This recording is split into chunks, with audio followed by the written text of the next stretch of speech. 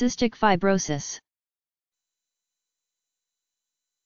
Cystic fibrosis, a common grave genetic disease that affects the exocrine glands and is characterized by the production of abnormal secretions, leading to mucus buildup that impairs the pancreas and, secondarily, the intestine.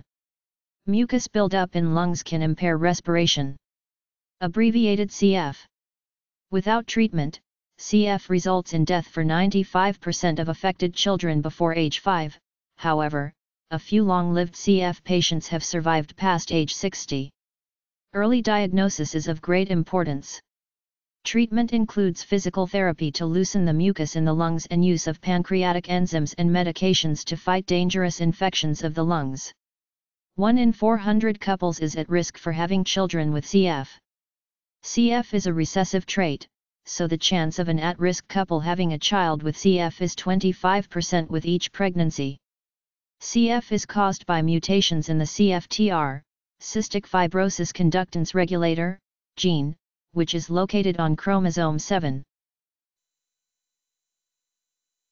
C, Y, S, T, I, C, F, I, B, R, O, S, I, S.